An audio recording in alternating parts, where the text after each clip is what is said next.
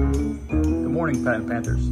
This is Dr. Dylan Singh, your principal, I'll give you a quick tour of our beautiful campus.